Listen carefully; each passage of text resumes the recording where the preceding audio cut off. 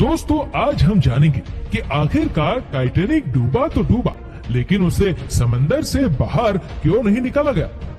दोस्तों 15 अप्रैल 1912 को ये अनोखा जहाज़ डूबा था।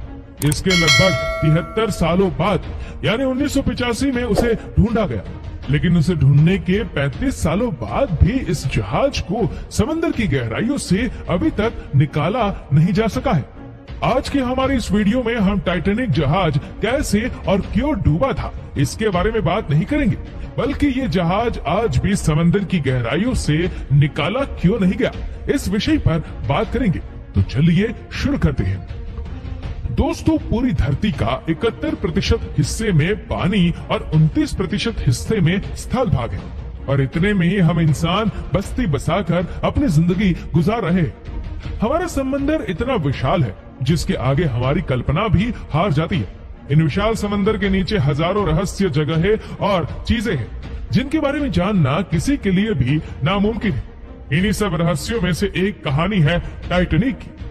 टाइटेनिक जहाज़ कैसे और क्यों डूबा था, इसके बारे में हम सबको थोड़ा बहुत पता तो ज़रूर है।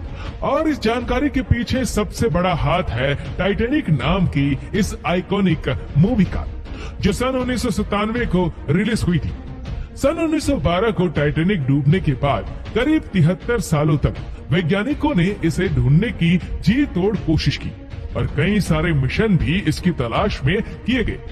लेकिन किसी को भी कोई सफलता हासिल नहीं हुई।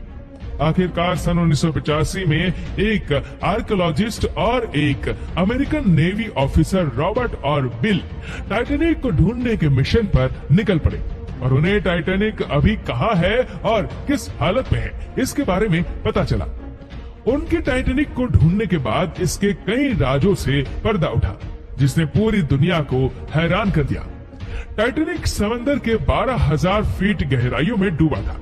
ऑफिशियल रिपोर्ट के मुताबिक ये जहाज़ डूबने से पहले सही सलामत थी। लेकिन जैसे जैसे टाइटेनिक समंदर की गहराइयों में समाती गई वैसे वैसे यह जहाज़ दो हिस्सों में टूट गया। लेकिन ऐसा क्यों हुआ? टाइटेनिक द न्यू एविडेंस की रिपोर्ट में बताया गया कि टाइटेनिक आइस बर्फ़ से टकराने के बाद नहीं डूबा था, लेकिन उसमें आग लगने की वजह से ये डूबा था। खोजियों को जब जहाज़ का मलबा मिला, तब उन्होंने ये पाया कि इसमें मौजूद बहुत सी चीज़ें वैसी की वैसी ही है। इस जहाज़ को बाहर निकालने की बहुत कोशिश की गई, लेकिन शायद सब लोग ये जानते थे कि इसे वापस बाहर निकाल पाना नामुमकिन है।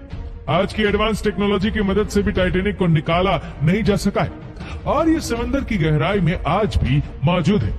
आमतौर पर किसी भी जहाज़ को समंदर के नीचे से जैसे निकाला जाता है। टाइटेनिक को उस तरीके से निकाल पाना मुमकिन नहीं है, क्योंकि ये दो हिस्सों में टूट कर डूबा था। लेकिन हाई टेक सबमरीन और पावरफुल मैग्नेटिक सिस्टम की मदद से शायद उसे निकालने की कोशिश की जा सके। पर इन कामों में बहुत सारी मुश्किलों का सामना करना पड़ेगा, जिसमें सबसे पहला है टाइटेनिक का वज़न, जो करीब एक दशमलव तैयलीस लाख टन है, जो बहुत ही ज़्यादा है।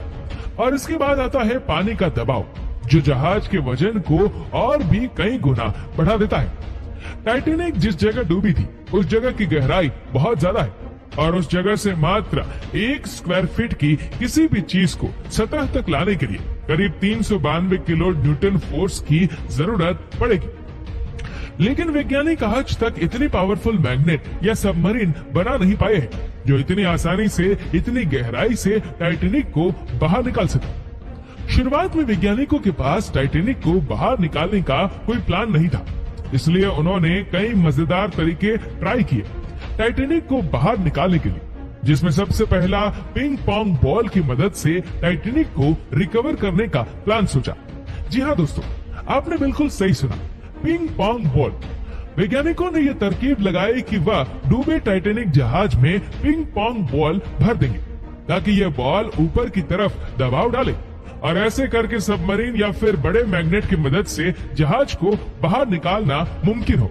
लेकिन तब वैज्ञानिकों के दिमाग में ये बात नहीं आई कि ये पिंग पोंग बॉल समंदर की गहराइयों तक जाते ही पानी के दबाव से फट जाएँगे।